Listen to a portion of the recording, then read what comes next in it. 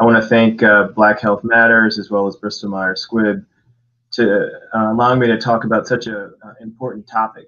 Um, so, in terms of what this all means, um, when we look at Black men, unfortunately, you know, in terms of health outcomes, we have the lowest rates. So we have the highest rates of diabetes, highest rates of hypertension, um, obesity, heart disease, colon cancer, prostate cancer, especially when we compare it to white men.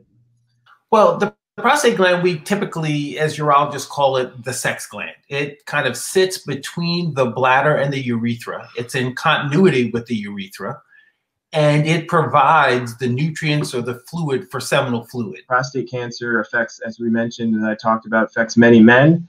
Um, what it is is it's when abnormal cells in the prostate start to overgrow the prostate, and it starts to destroy the prostate, and then it can it, then it can spread outside the prostate. It's called metastatic prostate cancer, and men can actually have some problems and die of that. And that probably 70 to 75% of people that we diagnose with prostate cancer are going to be asymptomatic. So, one, don't count those symptoms as, as being prostate cancer, and certainly don't think that the absence of symptoms means that you shouldn't get screened or shouldn't get checked for prostate cancer. There's two things that we do. One thing is called uh, PSA, which is prostate specific antigen. So that's a blood test. The other thing is um, that's coupled with a digital rectal exam. And so your primary care doctor can do this, your urologist can do this. So if you have a family history of high blood pressure or diabetes or colon cancer, you should really be talking to your doctor about getting screened. Okay.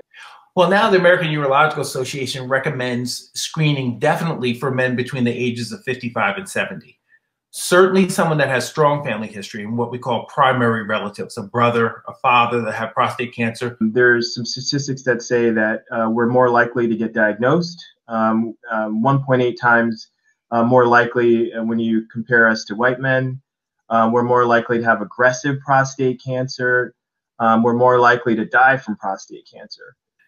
There are literally hundreds of clinical trials going on presently for prostate cancer.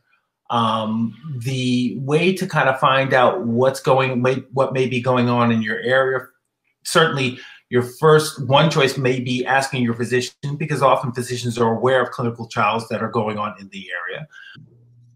The basics behind that is we need to know what medications or what devices are going to work best in black men and african americans right because of all the reasons why i said before it's really important that african americans um, participate in these trials. We're underrepresented in these trials, right? So we're not sure if, you know, if a trial uh, only has a, a, small number of black men and say they have the majority of white men, we don't know if these drugs are going to work for us. So BMSStudyConnect.com, I think, is a good resource okay. um, to uh, for patients to go to.